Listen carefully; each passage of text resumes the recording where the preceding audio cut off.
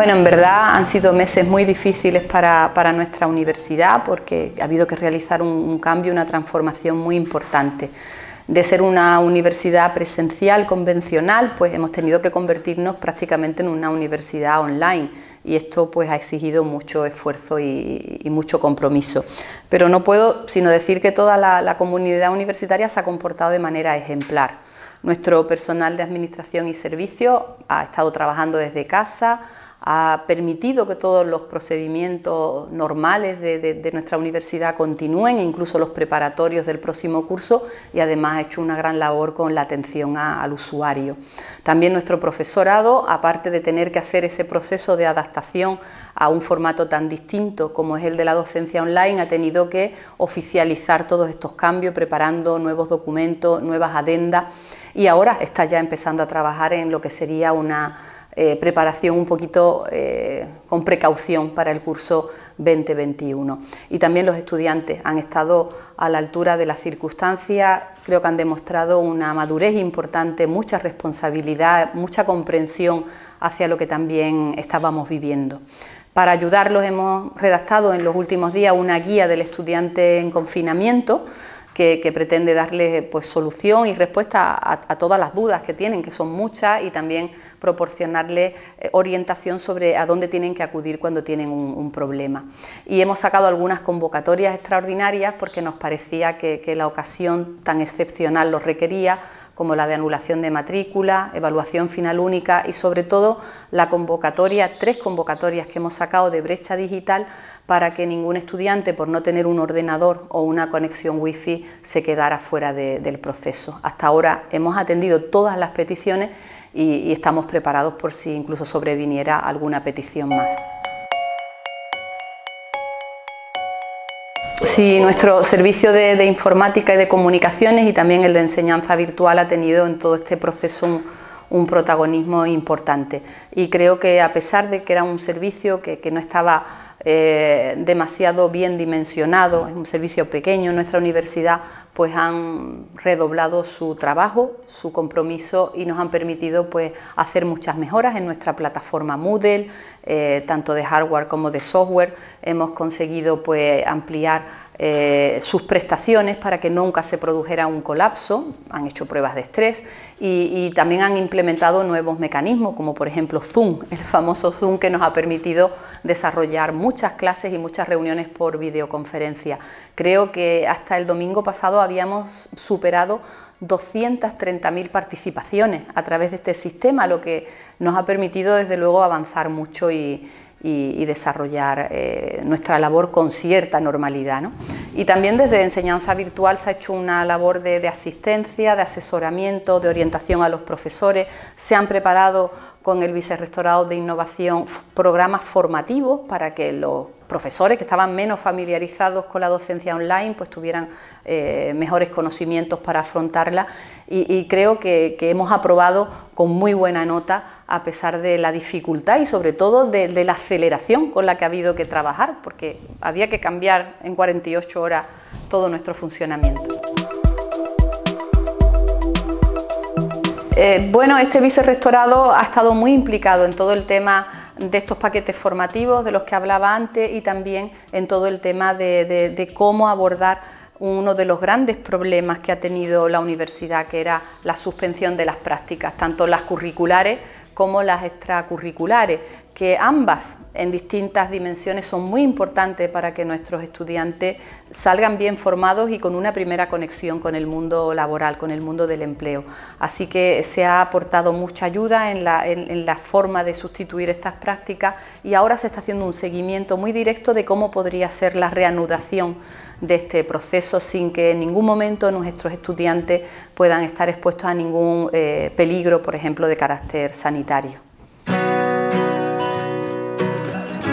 Bueno, eh, infraestructura ha estado muy, muy afectado porque el campus ha estado cerrado, entonces hubo que parar las obras que estaban en curso y la suspensión de plazos administrativos pues ha hecho que también los procedimientos hayan, tenido que, paralizarse, es normal porque no se podían seguir pues con, eh, como es habitual, la información pública y el desarrollo de las mesas de contratación. Esto afortunadamente, ahora que hemos entrado ya en la fase 1 y 2 de esta desescalada lo estamos eh, recuperando. Estamos reiniciando algunas obras que además eran muy importantes, muy necesarias que las pensábamos además para los periodos de, estudio de exámenes, porque se va a intervenir, por ejemplo, en las salas de estudio del edificio Galileo Galilei, que se utiliza por parte de muchos estudiantes y que necesitaban renovación de mobiliario, mejora de baño. Entonces, esto ahora lo vamos a reanudar y también hemos aprovechado el que no se podía estar ejecutando las obras pues para elaborar nuevos pliegos de licitación para otras intervenciones que ya pues a medida que el, que el proceso se desarrolle y esto se vaya descomprimiendo iremos efectuando. Bueno, investigación pues, es un servicio que además mm, con un PAS que, eh, que, es un personal técnico muy cualificado y, con mucho conocimiento sobre estos temas, pues se ha ido siguiendo todo lo que se podía. Todo lo que no estuviera interrumpido por plazos administrativos, pues lo que podían ser justificaciones económicas de, de proyecto, todo esto se ha continuado. Nuestros investigadores Ahora, aprovechando la fase 1, pues han empezado a reincorporarse a los laboratorios con una supervisión muy estrecha del Servicio de Prevención de Riesgos Laborales para que todo se haga ordenadamente, pero creo que esto también ha generado, pues, ha animado ¿no? a la comunidad investigadora el saber que podían volver a sus laboratorios, a sus centros de investigación y reanudar proyectos que, eh, bueno, salvo los esenciales que se habían mantenido por, por cuestiones hasta de supervivencia de los animales o de, los proyectos que estaban en curso, pues proyectos que son importantes. Y creo que además en este contexto nuestros investigadores han demostrado no solamente su capacitación, sino su espíritu solidario, porque desde el principio han estado donando todos sus materiales a los hospitales, ofreciéndose para hacer, por ejemplo, las pruebas de PCR, fabricando mascarillas o incluso, por ejemplo, los grupos que han estado fabricando un respirador que, ahora mismo nos tiene eh, pues llenos de orgullo, porque es un respirador con mucho futuro para ayudar en estas crisis sanitarias, las que tenemos y las que puedan venir en el futuro. Bueno, el, trabajo de ordenación académica, que siempre un trabajo un poquito menos, menos vistoso porque es muy, muy de despacho, muy administrativo, pero sí que ha sido también muy intenso porque ordenación académica está detrás de todos estos procesos de, reordenación de la docencia, regulando cómo había que hacerlo, elaborando los marcos en los que teníamos que, movernos. Aparte ha seguido haciendo su trabajo, está ya prácticamente ultimado el plan de ordenación docente del próximo curso. Hemos conseguido que todas las personas que habían sacado su promoción o estabilización estén ya con, su toma de posesión y en lo que hemos tenido que parar era en los procesos de contratación de profesorado que ahora también se van a ir reanudando. Entonces se ha trabajado intensamente y ahora se ha comenzado una nueva fase de trabajo porque lo que tenemos ya en el horizonte es eh, no exponernos a improvisaciones el próximo curso, sino comenzar en septiembre-octubre teniendo planificada cualquier opción que la universidad necesite según como sea la coyuntura sanitaria. Nosotros, con nuestra naturaleza optimista y como no podía ser de otro modo, vamos a un escenario de presencialidad con su control y, su organización adecuada, pero también queremos tener prevista la contingencia de que tuviéramos que ir a una multimodalidad mezclando un poco la docencia online con la docencia presencial o un escenario, esperemos que no, grave como el que hemos tenido, que nos obligara a volver a casa. Ahora hemos tenido que actuar muy aceleradamente porque nadie mm, podía prever lo que ha pasado, pero ahora ya queremos tenerlo todo preparado con vistas al curso 2021 de una forma adecuada y que nuestros estudiantes también lo conozcan, es decir, que desde el momento en que se matriculen dispongan de conocimiento sobre cómo se va a desarrollar cada una de estas opciones. Bueno, ha sido un tema, todos nuestros estudiantes en movilidad, es decir, los que eran de la Universidad de Huelva y estaban fuera, pero también los que eran de otras universidades y estaban con nosotros, han sido desde el principio una preocupación muy grande, porque además son gente que estaban fuera de su espacio emocional y de su espacio vital, estaban fuera de su familia y se encontraban a veces en países en situaciones muy adversas, como los primeros, ¿no? que, que nos preocuparon, que eran los que estaban en Italia. Bueno, afortunadamente esto con mucho trabajo se ha ido solventando, algunos volvieron a su domicilio, otros se quedaron en donde estaban siguiendo la docencia vía online y cuando ha hecho falta pues hemos colaborado intensamente con el Ministerio en los procesos de repatriación. Realmente se ha hecho una labor muy humana desde este vicerrectorado con mucho apoyo eh, en el sentido de la cercanía personal porque se han tenido casi todos los días videoconferencias con estos estudiantes, con los que estaban fuera y con los nuestros de dentro, para ver si necesitaban algo, si había que buscar asesoramiento para cualquier cuestión, si se necesitaba una gestión en los consulados, lógicamente siempre hasta donde llega la competencia de la universidad, porque procesos de mayor enjundia, como por ejemplo una repatriación, son procesos que se llevan desde el Ministerio de Asuntos Exteriores. Entonces, bueno, se ha trabajado, yo creo que esa parte humana verdaderamente ha sido encomiable y muy necesaria. Y, luego, pues también se adaptó a la docencia online toda nuestra oferta, por ejemplo, del servicio de lenguas modernas. Los ocho idiomas que impartimos se han transformado también a la modalidad telemática.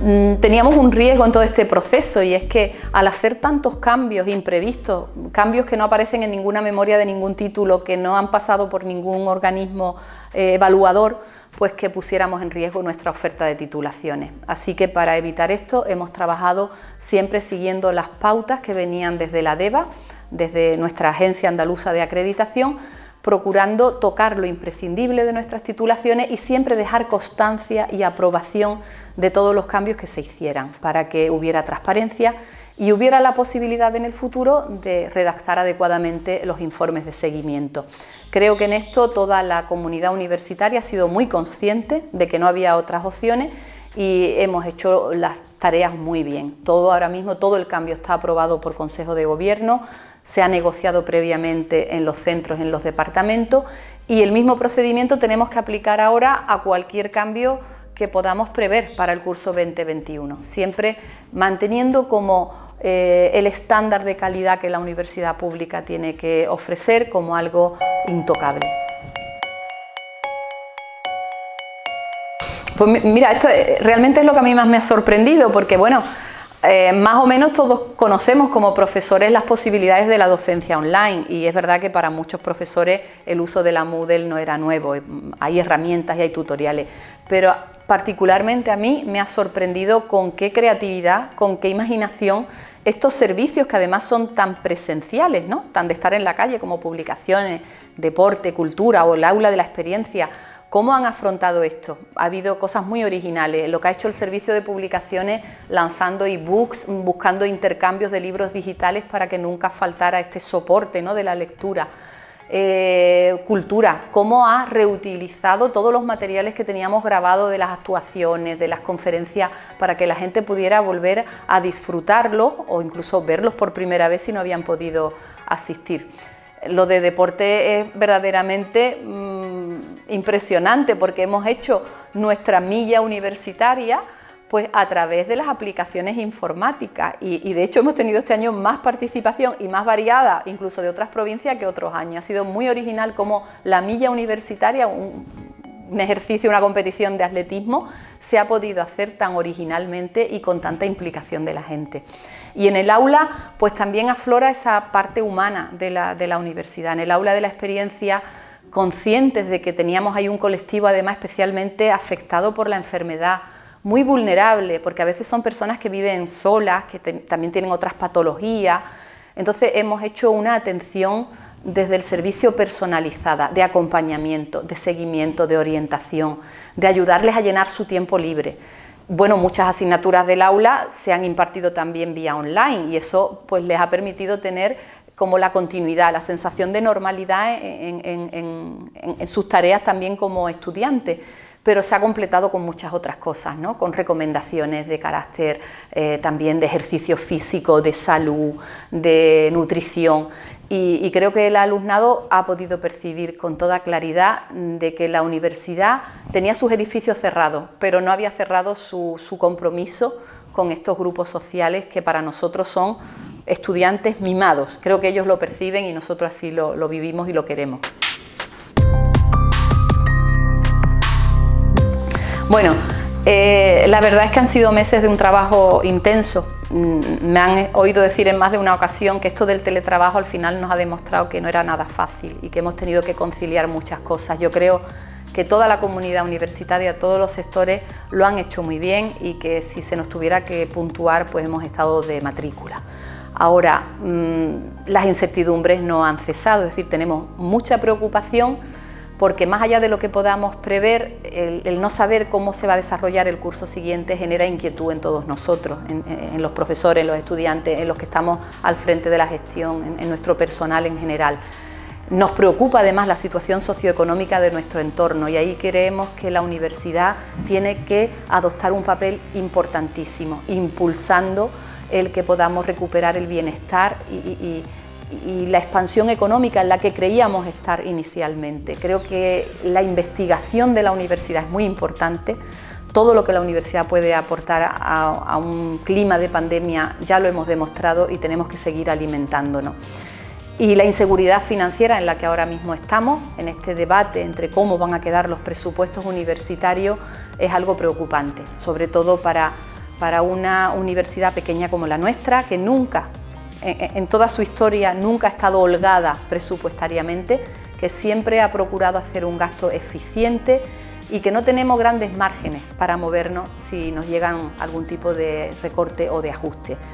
Eh, nos gustaría que además se asumiera que, la universidad eh, no es un gasto, sino que es una inversión, porque nosotros al mismo tiempo irradiamos conocimiento, irradiamos tecnología, irradiamos eh, incentivos para el tejido productivo y creo que esto eh, es algo que, tenemos que defender permanentemente porque es un papel que estamos llamados a realizar y que queremos realizar. Hay que buscar una suficiencia financiera, aun sabiendo que la época es mala y que necesariamente tendremos que hacer un ejercicio de contención, pero nunca poniendo en peligro la dignidad de la labor de una universidad pública.